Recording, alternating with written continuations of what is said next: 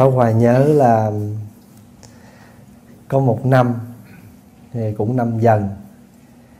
Có một đạo hữu Phật tử lên chúc thầy năm nay khỏe như con cọp. Thì quý vị thấy là năm con cọp là, là chúng ta thường gọi là hổ và chúng ta còn gọi là dần. Hệ nói tuổi nói tuổi dần. À, nói tuổi nói tuổi dần mà khi nói trịnh trọng là nói hổ còn nói theo bình thường nó cọp. Rồi hỏi à, chị tuổi chi? Nói dạ tôi tuổi dần chứ không ai dám nói tôi tuổi con cọp. Ngàn cọp dữ quá. Thì quý vị thấy là con cọp á thì thường á người ta gọi một cách rất trịnh trọng phải không? Là ông hổ hay là ông cọp. Mà thậm chí người ta còn lập miếu người ta thờ. Khi nói tới hổ nói tới cọp á thì người ta nghĩ tới là chúa sơn lâm. Vì vậy cho nên khi người ta nói thì cũng nói một cách trịnh trọng. Còn ở trong cái khoa bói toán về các cái tuổi á, thì người ta ngán nhất là tuổi dần. Thì cái tuổi dần á có cái số lãnh đạo người làm việc lớn mà đi tới đâu cái tuổi dần cũng thường được người ta chú trọng để ý mà thậm chí những người nữ mà tuổi dần người ta cũng sợ. À cái đó là mình nói theo bói toán thôi.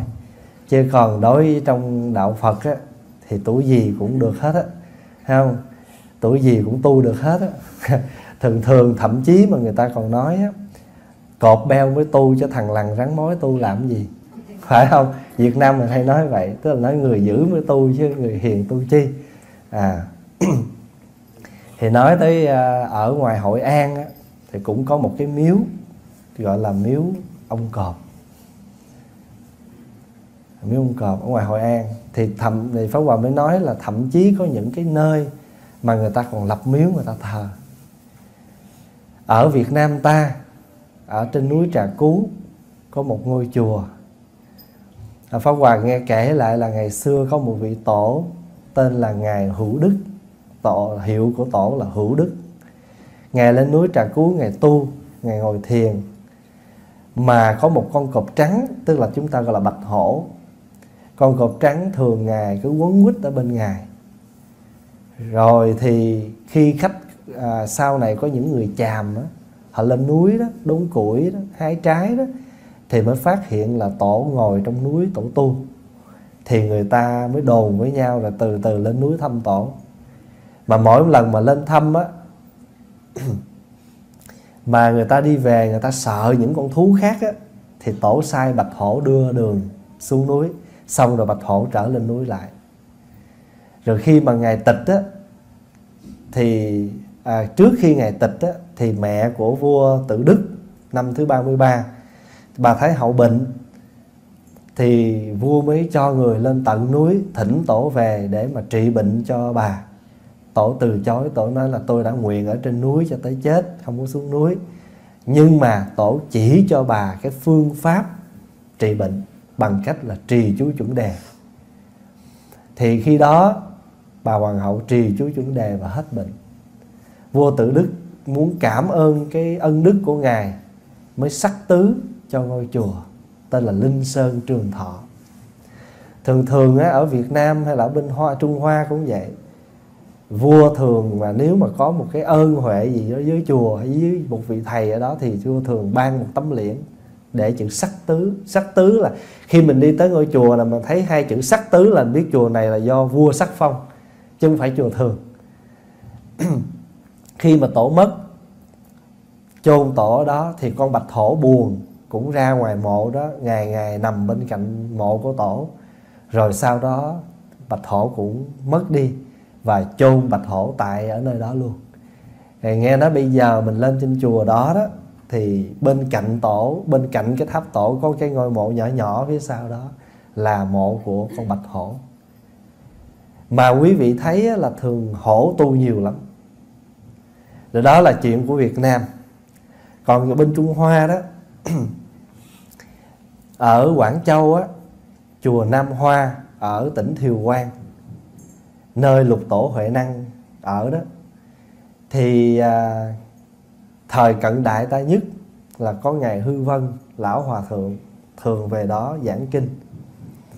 Thì một hôm hòa thượng đang làm lễ quy y cho người ta thì có một con cọp từ ở trong rừng đi ra.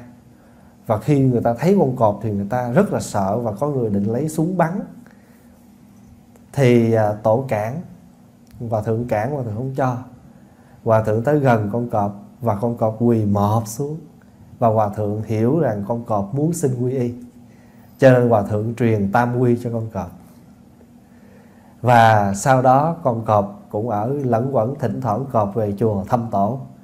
Và bây giờ quý vị mà đi tới à, chùa Nam Hoa đó còn một cái đình người ta xây những cái nhà nghỉ mát vậy đó rồi phục hổ. Còn hổ quỳ mọp ở tại nơi đó.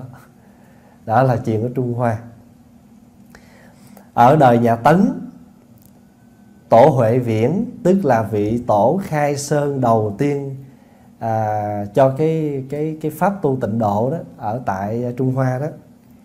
Tổ sinh năm 1000 à, xin xin lỗi tổ sinh năm 334 đời Tấn. Tổ ở chùa Đông Lâm ở núi Lô Sơn. Lô Sơn là một hòn núi rất đẹp ở tỉnh Triết Giang mà đẹp đến mức độ người ta nói rằng á, sương mù mà nó tỏa trên núi Lô á, là tuyệt vời. Sống của sông Triết Giang á, là đẹp lắm. Mà người nào mà trong đời của họ mà chưa đi lên núi Lô chưa thấy sương mù của núi Lô chưa thấy nước chảy ở sông Triết á, thì coi như là hận. Hồi xưa Tô Đông Pha cũng làm bài thơ vậy đó mù tỏa lô sơn sóng triết giang. Khi đi chưa đến hận vô vàng đến rồi cũng thấy đâu gì khác mù tỏa lô sơn sóng triết giang. À, dĩ đáo bình sinh hận bất tiêu đáo đắc hoàng lai vô biệt sự. Đáo đắc hoàng lai vô biệt sự đến rồi cũng thấy đâu có gì khác. Giống như quý vị thường nói trời ơi tôi ước gì tôi được gặp thầy pháp hòa. Tới hồi gặp rồi cũng đâu gì khác. Cũng cái đầu trọc cũng hai mắt hai mũi bình thường thôi. Không? Đáo đắc hoàng lai vô biệt sự. Đến rồi gặp rồi cũng thấy đâu gì khác. Nhiều khi ngồi vậy tưởng là bệ vệ lắm nha. Đứng dậy còn khúc à.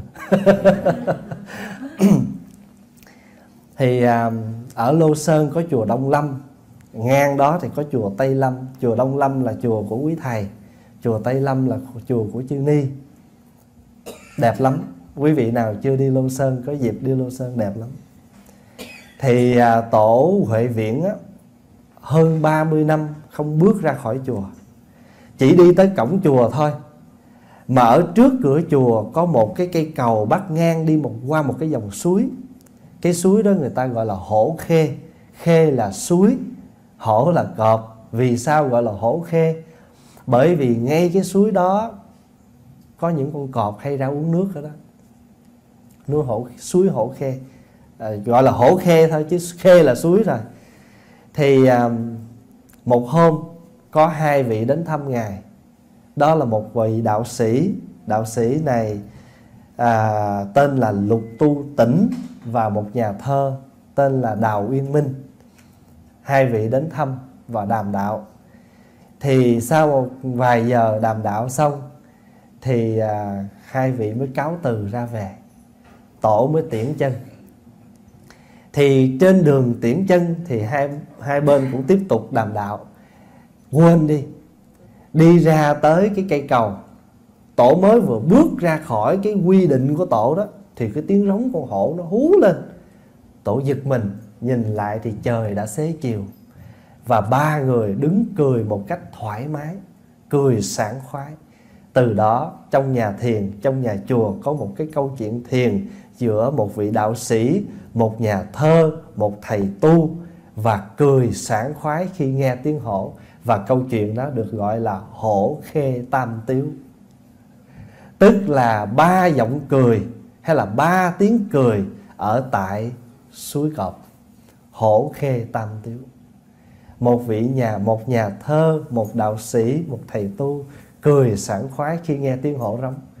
Thì con hổ nó biết tổ đã quy định là tổ không bước chân ra khỏi cái quy mức đó và tổ trong khi nói chuyện và sơ ý ngài bước qua khỏi cái cái mức quy định hổ rống lên hổ nhắc. Từ cái câu chuyện đó mình mới thấy á, là khi mà mình tu hành á, cái đức độ của mình nó lan tỏa đó nó có thể cảm hóa đến những cái loài thú những cái loài mà chúng ta gọi nghĩ rằng nó không có cảm tình nó không có cảm giác không phải. Đừng nói chi nuôi hổ. Quý vị nuôi một con chó ở nhà thôi. Nuôi một con chó một con mèo thôi. Mình thương nó mình hay nói chuyện với nó. Quý vị có cảm là nó thương mình không? Mình đi về là nó quấn quýt nó vẫy cái đuôi nó. Và thậm chí cái người thân mà qua đời nó buồn và có nhiều khi nó mất theo nữa. Ai mà nuôi chó nuôi mèo là phải sao thấy điều đó. Nó cảm được hết. Cho ngày xưa mà các ngài mà vô trong rừng mà tu mà cảm hóa được à, giống như đức phật ở đây hình như có một bộ tranh. Đức phật ngồi trong rừng mà khỉ hái trái voi dân nước là chuyện có thể có được. Tại vì cái con vật á, mình đến nó mà mình với cái tâm ác á, nó cũng cảm được. Mà mình đến với nó bằng cái tâm hiền lành, nó cũng cảm được. Thế trong chùa cũng có một cái câu chuyện ờ, chuyện hổ. Thì có cái chú tiểu đó đi tu với thầy từ nhỏ tới lớn, không có biết chi chuyện với núi hết trơn á. Ở trên núi không à khờ cỡ pháp hòa vậy đó. Đó thì à, một hôm thầy thấy chú này cũng lớn rồi 18 tuổi rồi. Thầy mới à, dẫn cho xuống núi để mà rửa mắt mở rộng tầm mắt đi xuống núi. Chú thấy cái xe chú hỏi thầy thầy gì vậy? Nói ông thầy nó ờ chiếc xe đạp đó con chú thấy chiếc xe bốn bánh hỏi thầy gì? Cái này xe hơi đó con nó thấy cái kia hỏi thầy gì vậy? Cái này cái nhà đó con. Đi cái gì cũng hỏi hết cái đi ngang cô gái thiệt đẹp. Cái hỏi thầy thầy này cái gì? Thầy nó ờ con cọp cái đó con. Nó dữ lắm con. Đừng tới gần nó con. Thì à, chú nghe chú biết là con cọp cái dữ. Và sau lên tới núi cái bắt đầu chú bỏ ăn. Không ăn uống gì hết trơn à. Ông thầy cũng thấy sao lạ quá không biết mình có làm gì sai không? Rồi bộ dẫn nó xuống núi của bộ không yên à. Thầy vô hỏi thiệt con à con có cảm không? Con có bệnh gì không? Nói thầy nghe coi. Nó chắp tay nói dạ thưa thầy sao con nhớ một cọc cái đó mà rồi chịu thua. Bỏ tài thì um, thì đó là năm nay là năm dần. Con kể quý vị nghe vài cái chuyện như vậy. Rồi bây giờ mình nói trong đạo. Ở trong đạo á, chúng ta có một quyển sách tên là Mi Tiên Vấn Đáp. Cái quyển này á là ghi lại một sự vấn vấn tức là hỏi. Hỏi đáp giữa một ông vua tên là Milanda với một vị tỳ kheo tên là Na Tiên thì Pháp Hòa nhớ hỏi nhiều lắm và trong đó có một đoạn ông vua hỏi à, ngài Na Tiên rằng thưa đại đức có những pháp tu nào để chúng ta có thể học hỏi và chúng ta tiến tu không? Thì à, ngài Na Tiên nói dạ bẩm hoàng thượng nhiều lắm. Chúng ta có thể học hạnh của con cọp. Thì hôm nay mà trích hai con à, trích một con cọp. Ngài dạy là tu theo hạnh con gà tu theo hạnh con gì con gì đó. Từ từ mình sẽ nói. Bữa nay nói chuyện con cọp thôi. Thì ngài mới nói dạ thưa hoàng thượng chúng ta có thể tu theo con cọp đực. Hỏi con cọp đực tu làm sao? À xin lỗi cọp đực thì nó không tu mà nó có một cái thói. Con cọp đực á nó có hai cái tính. Thứ nhất á là nó hay tìm những cái chỗ hang sâu, núi rừng tĩnh mịch để nó nghỉ ngơi. Thì ngài mới nói rằng cái người tu cũng vậy. Cũng nên tìm những cái an tịnh mà ẩn trú. Thì an tịnh ở đây không có bắt mình phải lên rừng, lên núi mà cái an tịnh có nghĩa là chúng ta phải tập ly sinh hỷ lạc. Ly là lìa. Lìa cái gì? Lìa cái ngũ dục. Lìa những cái vui mà không đáng. Lìa những cái làm cho chúng ta tốn tiền, hao sức khỏe. Thì khi chúng ta lìa được cái đó, chúng ta liền sinh cái an vui. Ly là lìa, sinh là sinh khởi, hỷ lạc là niềm vui thí dụ ngày hôm nay, chúng ta thay vì tổ chức một cái buổi tiệc mà không phải có gì quan trọng hết, cũng không phải sinh nhật, không phải đầy tháng thôi nôi tại buồn buồn có chuyện gì làm, đi mua vài kết bia rồi gì đó rồi về nhậu rồi sanh bệnh tốn tiền vậy.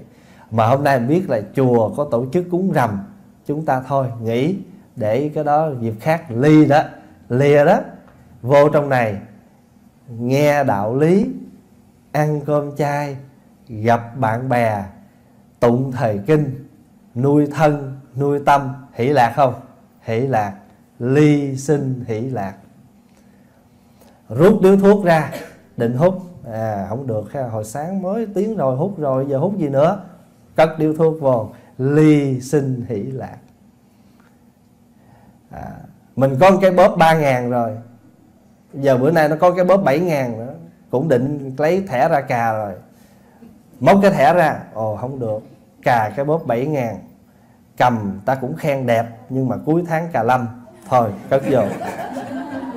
À cuối tháng mà thấy cái bill về là cà lâm à, à thôi cất vô. Ly sinh hỷ lạc. Học được cái hạnh công cọc được. Ngài trần thái tông á ngài có nói tới hai cái chữ mà ở trong cái bản văn của ngài, khuyên phát tâm bồ đề, là đại ẩn và tiểu ẩn. Tiểu ẩn là sao? Tiểu ẩn á, tiểu là nhỏ, đúng không? Ẩn nhỏ là gì nè? Lên núi vào rừng, gọi là tiểu ẩn. Người ở ngay chỗ phồn hoa đô thị mà không đắm nhiễm là đại ẩn. Quý vị thấy hay không? Mình tưởng đâu đại ẩn là lên núi, lên non. Nhưng mà đối với người tu không phải. Người tu không phải là chỉ đi vào rừng, vào núi tu mới đúng. Không, mình không bác, nhưng mà cái đó mới tiểu ẩn thôi. Còn đại ẩn là chúng ta vẫn lăn xả ra làm việc mà không dính mắc mà cái đó hồi nãy pháp hòa nói là dĩ huyễn thân, tác huyễn sự. Bây giờ chúng ta dĩ huyễn thân, tác phật sự biết cái thân mình sống chỉ mấy mươi năm, hoặc là nay đau mai mạnh thì ngày nào mạnh làm việc, ngày nào bệnh nằm tu. Cho nên lúc nào cũng tu, cũng làm và không có gì phiền hà hết. Đó là đại ẩn. Quý vị thấy được chữ ẩn không? Ẩn không nghĩa là trốn, mà chúng ta nếu có trốn là trốn những cái gì nó không bổ dưỡng, nó không lợi ích cho thân tâm mình thì chúng ta làm. Vậy thì chúng ta học cái hạnh của con cọp đực là tìm cái chỗ yên ổn để ở. Có nhiều khi à, có một hôm mình à, Đức Phật dạy có những người tự làm khổ mình. Có nhiều khi là vậy mà cụ Nguyễn Du nói hơi đau có dư nước mắt khóc người ngày xưa. Cô Kiều mà khi đi vô rừng à, đi vô trong nghĩa địa mà thấy à, à, mộ của Đạm Tiên đó rồi biết được cô này ngày xưa là một cái người kỹ nữ rồi mất dễ cái ngồi khóc xước vậy. Cụ Nguyễn Du nó dư nước mắt khóc người ngày xưa. Mình bây giờ cũng vậy nhiều khi chuyện chẳng dính dáng gì hết á. Coi cải lương không mà cũng ngồi khóc ngon vậy đó à. mà ở trong đó mà khóc nhiều nào khen hay đấy ta khóc xong ta vô ta lãnh tiền, ta khóc mà có lương chứ. Còn mình mà khóc tốn tiền giấy. Vậy thì mình phải học cái hành, cái cái kiểu thứ nhất của con cọp. Con cọp đực là tìm một chỗ ẩn trú. Điều thứ hai của con cọp đực là khi nó vật một cái con gì mà nhỏ hơn nó chết, mà lỡ cái con đó mà sức một cái tay bên trái hay là ngã xuống bên trái là nó không ăn? Cái này mình không biết tại có ai bao giờ dám tới đứng gần cọp để coi con cọp ăn sao đâu phải không? Nhưng mà ngài na tiên ngài nói rằng con cọp đực á, khi nó vật một con gì nhỏ hơn mà lỡ con đó ngã bên mé bên trái hoặc là sức tay trái là nó không ăn. Cũng vậy cái gì mà chúng ta là chúng ta hưởng bằng một cách trái phép chúng ta đừng hưởng mà ngày xưa trong luật, sa di có nói một câu mà dạy các chú thì sa di đó, thà chặt cánh tay, không bao giờ lấy bàn tay này ăn cắp trộm của người khác. Nói là cuộc đời của mình sống mình phải có một cái tư cách. Muốn thì mình xin, cho thì mình lấy, không cho là không lấy. Mà thậm chí mà phải nói một câu nghĩa là cho mạnh, thà tự chặt cánh tay mình chứ không bao giờ mình lấy của bất nghĩa. Ninh tự đoạn thủ, bất thọ nghĩa phi tài. Bất thọ phi tài là không có thọ những cái của cải mà không có đúng trái phép. Thở đây cũng vậy.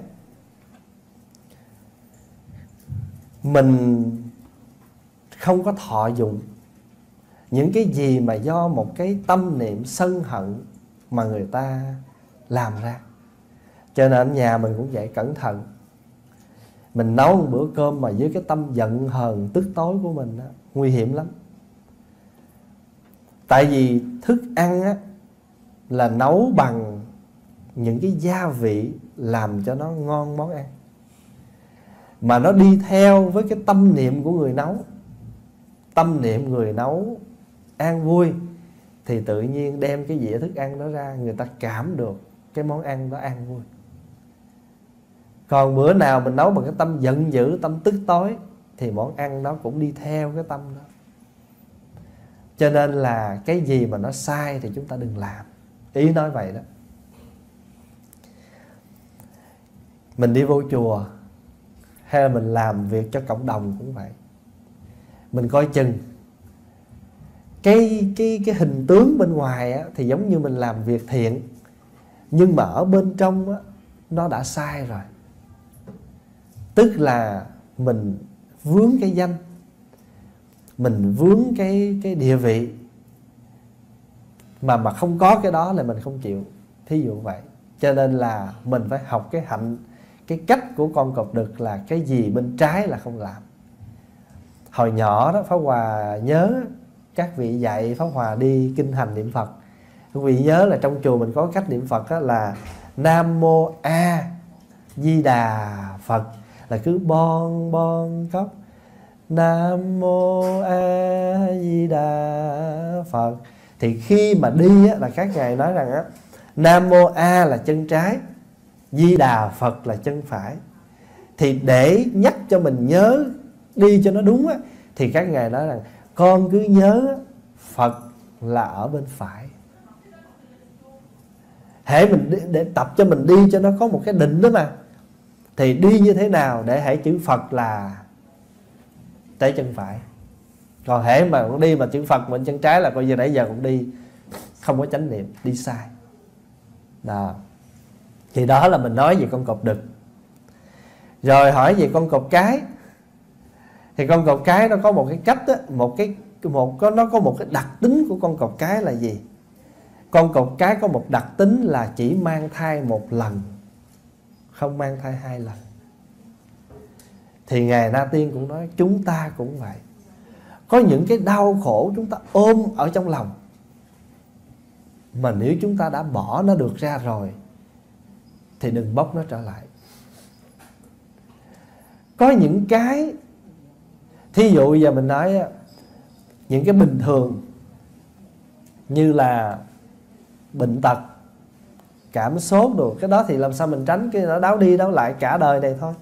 Nhưng mà trong đời này có những cái nó, mà chúng ta ôm mấy mươi năm, mà chúng ta do một cái duyên lành nào đó chúng ta được xả rồi mà chúng ta không có biết buông nữa thì uổng lắm.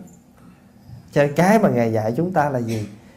Đối với các vị tu hành là nguyện, không còn trở lại trong vòng luân hồi, khổ đau.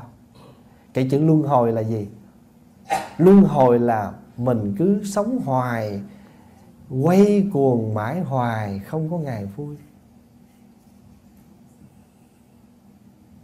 Hình như ông à, vũ thành an có một bài đời đá vàng thì phải. Trong đó có những câu rất hay. Thì chúng ta cũng vậy, có những cái mà chúng ta cứ đáo đi đáo lại. Mà quý vị biết không, thường thường á xin lỗi là có những người có cái chuyện nó cũ rích à mà cứ nói hoài. Xong rồi giải tỏa rồi cái là hai ba ngày sau hay là một hai tháng sau một hai năm sau mà đụng chuyện cái nói nữa. Có nhiều khi á, cái người sống trong nhà mình bực khó chịu lắm là gì mình cứ nói đi nói lại cái đó hoài như vậy chứng tỏ là mình mang thai mấy lần mang thai nhiều lần không cho nên mang thai một lần là khi chúng ta xả được rồi chúng ta nên xả. Đó là cái đặc tính của con cọp cái mang thai chỉ một lần chúng ta cũng vậy. À, cái gì mà chúng ta thấy xả rồi thì thôi đừng có đem nó vô trở lại nữa.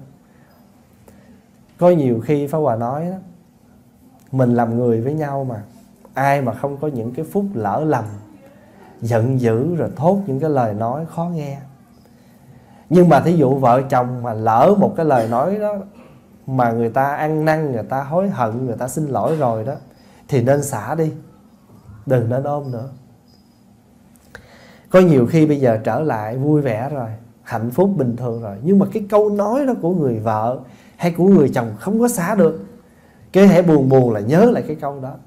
Mà nhớ lại cái câu đó là hận, là giận, là tức, chi cho nó khổ mình biết ở đời này ai cũng có một cái lần lầm lỗi. Đó là pháp hòa nói ít đó nha. Nên ai cũng có một lần lầm lỗi là nói ít đó. Chứ còn nói nói cho đúng là là ai cũng đã nhiều lần lầm lỗi. Cho nên cái bài mà chúng ta tụng đó, con đã gây ra bao lầm lỡ, khi nói, khi làm, khi tư duy. Tham lam, hờn giận và ngu si. Hôm nay con nguyện xin sám hối. Bắt đầu hôm nay nguyện làm lại thề sống đêm ngày trong chánh niệm, nguyện không lặp lại lỗi lầm xưa. Người ta có cái câu nói như vậy. Nhưng mà chúng ta sống chúng ta phải trải lòng và chúng ta cảm thông. Thường thường cái người dưng nước lã nói một câu gì nghe nặng nề để chúng ta bỏ qua được. Mà cái người chúng ta thương nhiều chừng nào á, là chúng ta sẽ giận nhiều chừng đấy. Cha ta thường nói, thương nhiều là giận nhiều. à, cho nên rồi yêu với hận nó cũng không có xa bao nhiêu đâu. Yêu sâu nào hận nặng nấy, vì vậy cho nên đó mình phải học cái hạnh. Năm nay là năm canh dần. Chúng ta học hạnh của con học cái cái cái cái đặc tính của con cọp cái á, là chỉ mang thai một lần. Quý vị biết á, mình giận ai rồi cái ngực của mình nó nặng nề lắm trái tim của mình nó kỳ cục lắm gặp cái người đó là bắt đầu đánh mạnh hơn. Hồi xưa khi mình gặp cái người đó mình cũng thương họ cái trái tim mình bây giờ nó rung cảm. Bây giờ cũng cũng gặp người đó nó cũng đập mạnh nhưng mà bây giờ không phải rung cảm theo kiểu tình yêu nữa rung kiểu khác. Cái này rung cầm cập. Hồi xưa kêu là rung cảm rung nhẹ nhàng. À, rung kiểu yêu đương bây giờ cũng cái người đó cũng cái trái tim đó cũng rung mà không có phải rung như ngày trước nữa. À bây giờ rung mà đập thình thịch à, nó lạ vậy. Cho nên ngài na tiên chỉ mình cái cách học theo hạnh của con cọp nha. Con cọp cái có cái đặc tính là không mang thai hai lần. Chúng ta cũng vậy. Cái gì xả được xả đi. Đừng trở lại nữa. Chúng ta đừng cái học cái kiểu con con chuột cứ ngậm nhắm ngậm nhắm hoài. Con chuột đâu có ăn gì lớn đâu.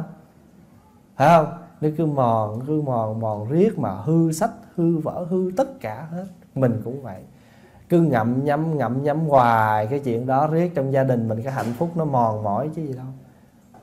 Cái người kia có thương mình cỡ nào có chiều mình cỡ nào ta ân hận rồi ta hối hận rồi ta làm bao nhiêu chuyện rồi mà mình cứ nói hoài cũng nhớ hoài tôi không có hết đâu. À, tôi còn giận lắm à. à, à quê rồi mà vẫn còn quê à. à mình cứ nói vậy hoài. Có ngày nó có chuyện nữa chứ đâu. Cho nên đừng có làm kiểu con chuột là cứ ngậm nhắm ngậm nhắm hoài cái chuyện đó. Tại vì mình học được cái đặc tính con cọp đực rồi phải không? Cọp đực có hai đặc tính. À, kiếm chỗ yên tĩnh ở. À, rồi gì nữa? À không bao giờ làm việc sai trái đặc tính con cọc cái là gì? Buông xả phải không? Sanh một lần thôi. Rồi bây giờ mình nói qua, đó là mình nói trong ngày na tiên chỉ. Bây giờ mình nói qua trong kinh. Thì ở trong kinh có kể một cái câu chuyện. Mà xin thưa với đại chúng là những cái câu chuyện trong Phật giáo chúng ta thường gọi là ngụ ngôn. Thì ở nhân gian cũng có chuyện ngụ ngôn. Trong Phật giáo có chuyện ngụ ngôn. Mà trong Phật giáo có một quyển kinh ngụ ngôn của đạo Phật á, chúng ta gọi là kinh bách dụ. Một trăm câu chuyện ví dụ. Đem những nhân vật rồi những con này con kia mà hễ mà đem con này con kia ví dụ là vô thưởng vô phạt. Không có trúng ai hết. Không? Mà đem những cái hình ảnh con đó ra để hướng dẫn cho mình thôi. Thí dụ như là à, người nào mà người nào mà âm mưu đa mưu mà túc trí mà cái kiểu mà mưu mô mà lại mượn oai của người khác thì người ta gọi là gì? Cáo mượn oai hùng không à thì ở đây có một câu chuyện ngụ ngôn như thế này. Có một cái anh đó, ảnh à, bị một con cọp nó rượt. Bị con cọp nó rượt thì à, trong khi mà nó rượt như vậy thì anh sợ quá anh chạy. Thì tới cái đường đó thì anh thấy một cái giếng khô. Anh mới nhảy xuống giếng thì anh định là nhảy xuống đó để trốn con cọp trong khi mà anh nhảy xuống dưới thì anh nhìn xuống dưới thì ở dưới nó có ba con rắn.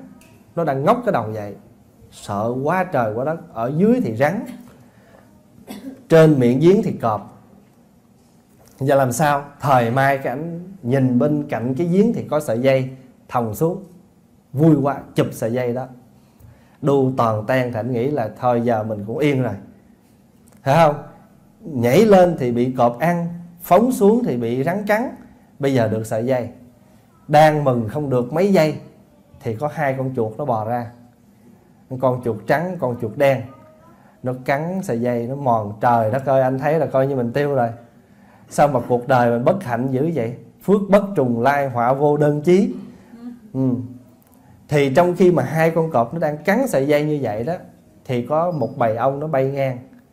Nó nhỏ xuống năm giọt mật anh há miệng ra, anh ăn năm giọt mật, cái anh quên mất tiêu hết trơn. Ở dưới có rắn, trên có cọp, mà dây mình thì đang chuột cắn. Thì cái câu chuyện đó đức phật nói như thế này.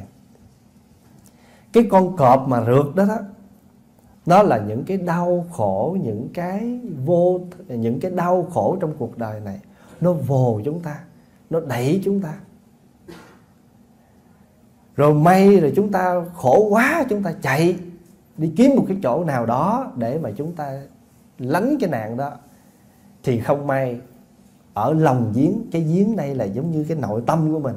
Cái ở trong lòng giếng ta, nội nội tâm mình bị ba con rắn tham sân si. Trên ba con rắn ở dưới miệng giếng đó là ba con rắn tượng cho trưng cho tham, cho sân, cho si. Cái sợi dây mà anh nó đu đó đó là cái mạng sống của mình. Nó mong manh lắm bên trong thì bị tham sân si nó hoành hành, bên ngoài thì bị bao nhiêu những cái tác động, nó làm cho con người mình từ thân cho tới tâm mòn mỏi. Vậy đó, chưa hết đâu. Mái xanh chưa mấy, tóc bạc đã lớn dần. Câu này hôm qua mình học đó nha. Đó là hai con chuột con chuột trắng cho con chuột đen. Con chuột trắng là tượng trưng cho ban ngày con chuột đen là tượng trưng cho ban đêm. Chúng ta cứ bị ngày đêm nó chi phối và cái mạng sống, cái tuổi của chúng ta cứ dần dần đi đến cái già. Hồi nãy à, chú Nguyên Thạnh, chú vô thăm. Thì chú mới nói Tết năm nay đi thăm nhà anh Hải Nguyện tới là anh Tiến. Anh Tiến mới đem ra cho cái hình hai bảy năm về trước. Trời cũng nhìn giật mình hai, bảy năm về trước, tóc con còn nhiều. Bây giờ sáu đi đâu hết trơn? Mà hai, bảy năm về trước là tóc đen mà nhiều. Hai, bảy năm sau, nhìn lại, tóc còn có mấy sợi mà bạc nữa. Thì pháp hòa mới nhắc chú cái câu mà đêm hôm ngày trần thái tông nói với chúng ta đó. Mái xanh chưa mấy chốc, tóc bạc đã lấn dần. Có phải không? Thành thử ra, bây giờ mình ngồi mình kiểm lại coi cuộc đời mình có giống cái anh thanh niên này không? Mình có bị bao nhiêu những cái thứ bên ngoài nó đang đuổi rượt mình không? Mình có đang bị một con cọp nó rượt không? Mình có đang bị ba con rắn này nó hâm he mình không? Mình có đang bị hai con chuột nó đang ngậm nhấm cái sợi dây mạng sống mình không? Vậy mà, chúng ta quên đi con cọp vồ, con rắn cắn, con chuột cắn dây. Chỉ cần có những cái lợi lộc bình thường nó đến, quên hết. Năm giọt mật đó là tượng trưng cho cái gì? Tượng trưng cho tiền, tài, sắc đẹp, danh vọng, ăn ngon, ngủ kỹ. Quên mất hết.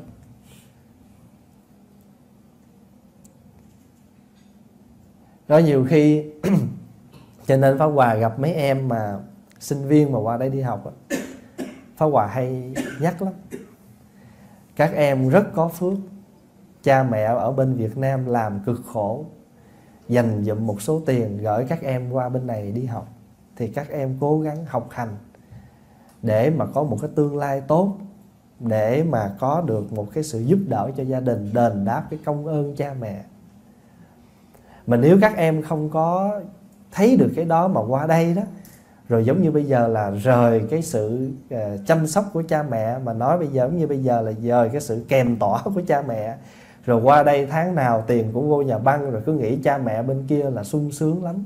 Mà mình phung phí đó là uổng lắm rất là uổng. Thì cũng giống như vậy. Mỗi ngày đi qua là chúng ta không bao giờ kéo lại được. Rất uổng. Giống như pháp hòa mấy năm gần đây thì cái sức khỏe của mình á bắt đầu nó nó yếu. Mình thấy rất rõ. Cái sức khỏe của mình mỗi năm nó nó không có còn giống như ngày trước. Quý vị có thể nói trời ơi chưa bao nhiêu mà ở đó nói chuyện trầu cao. Nhưng mà không phải. Khi con người mình làm việc mà nó quá sức á thì nó phải giống như cái máy mà người ta dặn là một ngày xài 8 tiếng mình xài ngày tới 16 tiếng thì không thể nào nó last long được nó có thể duy trì lâu được. Cái thì uh, tự nhiên cái trong lòng mình nó có khởi một cái niệm là mình mong cho mình có đủ cái sức khỏe để mình tiếp tục mình làm những công việc mình đang muốn làm. Mấy năm gần đây là hay nghĩ vậy vào những cái ngày đầu năm. Không phải mình ham sống để mà làm gì mà bởi vì mình mình còn tích cực mình còn muốn làm những cái công việc mình muốn làm. Thí dụ bây giờ mình thấy à, ví dụ thôi chùa đây chưa có người lo. À, những cái dịp lễ lộc thí dụ vậy rồi những nơi khác cũng còn bỏ đó chưa có người về chăm sóc những ngày lễ lớn hay là đến đó để mà chia sẻ Phật pháp. Thì mình thấy rằng cái sự có mặt của mình nó cần cho nên lại muốn có đủ sức khỏe để mà làm sao trang trải hết những cái việc đó. Vì đó là cái bổn phận của người tu. Mình bây giờ là là đại ẩn chứ không phải là tiểu ẩn tức là mình còn phải lăn xả, mình còn phải đi ra mình làm việc. Cái thì mình mới thấy mình đừng có để cho những cái gì nó bên ngoài đó, nó làm tác động. Thật sự ra, đi ra làm phật sự dễ khó. Quý vị trong này đã từng làm khó lắm phải đúng không? Khó lắm. Mình làm không có lương làm ngày, làm đêm, không có lương. Đây mình nói chung đó nha, người tu hay là người không tu vậy, khi mình lăn xả vô mình làm việc phật sự đó, mình mới thấy làm thì không lương. Nhưng mà người ta vui với mình thì nó khác. Người ta buồn mình nó khác. Mà thậm chí đôi khi mình còn thấy coi như là mình, coi như là vì phật sự mà mình phải làm thôi. Chứ còn bây giờ nhiều khi mình cũng ngán ngẩm giống như là con cọp mà nó vồ mình vậy. Rồi mỹ, mỗi khi mà con cọp nó vồ như vậy thì cái gì trong này nó phát? Cái sân của mình nó, cái giận hờn của mình, cái si mê của mình nó phát. Cho nên bên ngoài thì cọp, rượt, bên trong thì rắn bò. Bây giờ mình là một cái người mà cứ tối ngày cứ cứ nghĩ rằng á có nhiều người người ta giải thích như vậy nè. Pháp Hòa nhớ là người trong cái quyển um, cái cười của thánh nhân thì người ta nói rằng năm giọt mật đó đó là nói rằng cuộc đời này nó khổ đau vậy thì thôi mình tận hưởng nó đi. Nói vậy không có được đâu. Cái hiện pháp lạc trú theo đạo Phật đó, là mình làm việc hết lòng mà mình an trụ trong hạnh phúc. Đó mới gọi là hiện pháp lạc trú giống như nước cuộc đời này vô thường, nay dời mai đổi, thì chúng ta phải lấy cái thân này, dùng cái vô thường này một cách chính đáng. Chứ không thể nào nói là thôi, tu cũng chết, không tu cũng chết, tu làm chi cho mắc công để mà à, khổ đau vậy thôi, mình cứ việc mình ăn chơi cho ấy đi rồi có gì mình mời thầy tới. Không được, nói gì không được. Cho nên nói như vậy thì nó chỉ có một, không có nói hết được cái ý tứ của đạo Phật quý vị thấy được câu chuyện ha? Cái câu chuyện cuối mà muốn kể lại chúng nghe về con cọp đó, là trong kinh bách dụ kể. Có một bà già đó đang ngủ dưới gốc cây. Thì à, bị một cái con cọp á nó nó bò nó đi tới và nó muốn ăn thịt bà. Thì bà sợ quá. Bà mới chạy vòng vòng cái cây và bà lấy dây bà con cọp nó chạy theo thì bà mới lấy dây bà quấn cọp thì hai cái chân con cọp nó dính vào cây còn hai con nó nó nó, nó ghi được bà. Thì trong khi mà bà dằn co với con cọp như vậy đó thì có một anh thanh niên đi tới. Bà mới nói trời ơi may quá chú ơi chú tới giúp tôi. Con cọp này nó muốn ăn thịt tôi nè bây giờ chú giúp tôi tay đi cột cái tay con cọp này lại. Rồi cái tôi với chú chia thịt cọp mình mình hưởng rồi lấy lông đồ bán rồi vậy đó. Anh thanh niên này nghe như vậy mới nhào tới chụp hai tay con cọp và dùng dằn với con cọp. Bà già khi mà thấy anh này chụp hai cái tay vậy bà bỏ chạy mất tiêu. Rồi cuối cùng anh này chết với tay con cọp. Thì qua cái câu chuyện đó, đức phật mới nói như thế này. Ở đời đó, mình phải nhớ là khi người ta nói cho mình một cái lợi lộc gì đó mà dễ dàng ăn quá đó, thì cũng coi chừng. Phải không? Mà trong 10 điều tâm niệm, Phật nói một câu như thế này, thấy lợi đừng nhúng vào. Vì nhúng vào á là gì? Mất đạo nghĩa. Không tôi thân mất mạng. Quý vị thấy được điều đó không? Cho nên người người ta tới nói anh ơi anh anh làm ơn anh giao cái này cho tôi là ăn gốc kia kìa cái anh lấy 10 ngàn xài chơi. Ha à, mình thấy mình ăn 10 ngàn có bộ dễ quá chỉ cần đi có một lót đường có 10 ngàn à. Và cuộc đời mình đi cả mấy chục năm nay ở nước ngoài mà chưa bao giờ trong băng mình dư được 10 ngàn. Là mình nghe vậy cái thời mai sao cái người ta lợi người ta bắt mình ủa 10 ngàn này đâu ra? Cái nó tôi có biết trời trăng gì đâu. Đó, thì mình thấy có những cái lợi mà mình thấy nó dễ dàng quá không phải. Cho nên đức phật cũng nói với ngạ nan tại sao một cái cây nó nằm ở ngay giữa ngã tư đường rất dễ hái mà bàn quan thiên hạ đi ngang mà nó còn nguyên nghĩa là cây có độc? Cây có độc người ta mới không hái chứ nếu mà nó dễ nó là cây ngọt cây ngon mà dễ hái thì đâu có tới phiên mình. Cho nên cẩn thận cái đó cái điều mà ngài muốn cái điều mà chúng ta học được từ bài học này á là như thế này. Anh nếu chúng ta làm anh hùng không? Nếu mà làm anh hùng mà không có cái cái cái um, không có lượng sức mình á anh hùng mà không có lượng sức á, người ta kêu anh hùng rơm. Hiểu không? Mà anh hùng mà vì lợi lộc cho chính bản thân mình là anh hùng vị kỷ. Nó có hai dạng anh hùng nha. à còn anh hùng mà lợi làm việc gì có lợi mình, lợi người mới thật là anh hùng. Chứ cũng không nên, vì lợi người không mà đôi khi cũng cũng không có lợi mình cũng không được. Cái phải có cả hai. Vậy cho nên á, mình là người nho ta có cái câu đó là kiến nghĩa bất vi vô dũng giả thấy cái việc bất bình mà không nhúng tay vô thì không phải là kẻ dũng sĩ. Nhưng mà mình phải lượng sức. Mình không có lượng sức mà mình gánh cái đó là không được. Mà nhiều khi mình nói thôi, lỡ leo lên lưng cọp rồi, không biết lái cọp lấy gì lái. Lâu lâu nay cứ lấy xe hơi không bao giờ lỡ leo cọp sao lái cọp. Phải không? Thành thử phải tùy sức, lượng sức mà mình làm. Thì qua cái câu chuyện này chúng ta mới thấy rằng có nhiều khi chúng ta chạy theo những cái hảo huyền thì chúng ta coi như suốt đời này chúng ta cũng không được gì hết. Ví dụ như bây giờ mình làm cái gì mình phải có kinh nghiệm. Mà muốn làm một cái việc gì đó mà không có kinh nghiệm thì coi như không xong. Cho nên cẩn thận cái đó.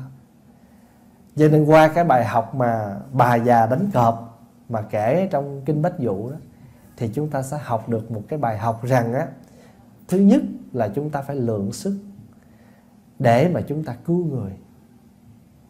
Thứ hai là chúng ta phải thấy khi người ta mang một cái lợi lộc gì đến cho mình một cách dễ dàng, không có điều kiện, thì cái điều đó chúng ta phải suy nghĩ lại. Đừng có nhắm mắt, nhắm mũi mà chúng ta nghe cái lợi đó dễ dàng mà chúng ta chạy theo. Xin thưa như thế này, ở đời đó khi mà khổ đó, thì người ta gọi là đồng cam cộng khổ. Nhưng mà khi mà được một cái chút gì mà gọi là lợi lộc đó, ít ai muốn sớt chia lắm. Ở đời là có những cái cái sự việc nó như vậy. Cho nên bà già đó, bà cũng mưu ha. Nói, chú ơi, chú chú lại, chú giúp tôi đi. Hai người chúng ta đánh chết con cọp này rồi mình chia nhưng mà bà già đã biết là cái sức của bà với sức chú này sao đánh cọp nổi. Cho anh này mà anh vô anh nắm mà bà già bỏ chạy. Hai người mà còn không kịp, không lợi con cọp, thì làm gì mà một một mình anh này có thể đánh cọp được? Cho nên chúng ta cũng cẩn thận cái đó. Thấy lợi đừng nhúng vào. Ha? vì nhúng vào là không có tiện lợi cho mình đâu, mà hại nữa. Vì vậy mà khi mà chúng ta ăn năn, giống như anh đó thì đâu đi nó cũng hơi muộn. Thì thôi bây giờ đó, qua những cái câu chuyện này, chúng ta phải học một cái bài học như thế này. Mình tổng hợp lại đó, thì mình mới thấy rằng á, thứ nhất á, mình sống ở đời thì mình phải biết có mình, có ta. Mà theo như là bói toán của khổng minh á là tri kỷ, tri bỉ, bách chiến, bách thắng. Biết người, biết ta, trăm trận, trăm thắng. Biết lượng sức mình, biết người ra sao mà chúng ta sống. Giống như chúng ta lái xe, có lúc đi thả nhìn thẳng, có lúc nhìn kiến hậu, có lúc nhìn kiến vai, có lúc tấp vô lề, ngừng lại, có lúc phải chậm lại, có lúc phải nhanh, và có lúc phải để ý cái kim đồng hồ coi chừng chúng ta đã quá cái tốc độ mà đã được quy định. Và khi mà chúng ta thấy được cái đó, thì chúng ta vẫn sống. Dù đeo cái sợi dây, ai cũng đang đang câu, đu một cái sợi dây mà sống hết đó nhưng mà không vì những cái lợi như năm giọt mật hay là như bộ da cọp mà chúng ta quên đi những cái chúng ta cần phải làm. Chúng ta biết rằng ai cũng cần có phương tiện trong cuộc đời để sống. Ai cũng muốn làm lợi cho gia đình mình. Nhưng mà có những cái nó ngoài cái sức của chúng ta. Thì nếu không khéo thì chúng ta chẳng những hại mình mà còn hại những người thân mình phải khổ lụy theo nữa. Cái điều đó chúng ta phải cẩn thận và không nên làm. Thì thôi hôm nay là cái ngày à, đầu năm Pháp Hòa về thăm đại chúng nhân cái dịp à, năm canh dần thì Pháp Hòa trích ra một vài câu chuyện trong kinh à, nói về con cọp để chúng ta học hỏi từ đó ha? Học từ con cọp cái học từ con cọp đực học từ cái bà già đánh cọp học từ con cọp nó rượt mình. Thì thôi mình có thể gọi đây là bài học từ con cọp. Xin chúc đại chúng à, có một năm mới an khang dồi dào sức khỏe thân cũng như tâm thường an lạc và nhất là phải cố gắng tinh tấn tu hành. Quý vị nhớ là chúng ta luôn mỗi người nhớ một cái này. Mỗi ngày chúng ta nguyện phải làm bạn với thiện. Đó là phật dạy nha. Trong kinh phật dạy là mỗi ngày phải nhớ làm bạn với thiện. Làm bạn với thiện là sao? Ít nhất một ngày phải có được một trang kinh phải không? Phật là quê mẹ kính yêu. Kinh là những tiếng sáo diều của con. Ngày nào không tụng kinh, coi như ngày đó chúng ta thiếu một món ăn tinh thần. Bởi vì có tụng kinh thì chúng ta mới định tâm, chúng ta mới sáng trí và chúng ta mới dõng mãnh trên con đường đời cũng như đạo. Bởi vì trên đường đạo không gì bằng tinh tấn, không gì bằng trí tuệ của đời ta sống điêu linh, trong kiếp sống ta bà, chỉ có tinh tấn là vượt qua tất cả. Thôi chúc cho đại chúng có một mùa xuân tinh tấn. Nam mô a di đà phật.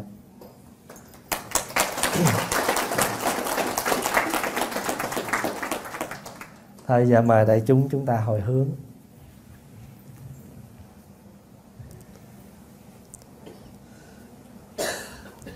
Thì khi chúng ta chấp tay lại, chúng ta nguyện cầu nhân cái dịp đầu năm hay là bất cứ lúc nào, chúng ta xoay trở về là hồi.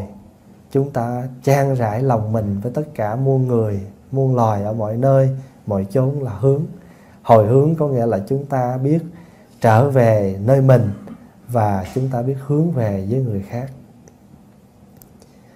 nguyện à, đem à, công à, đức này hướng về khắp tất cả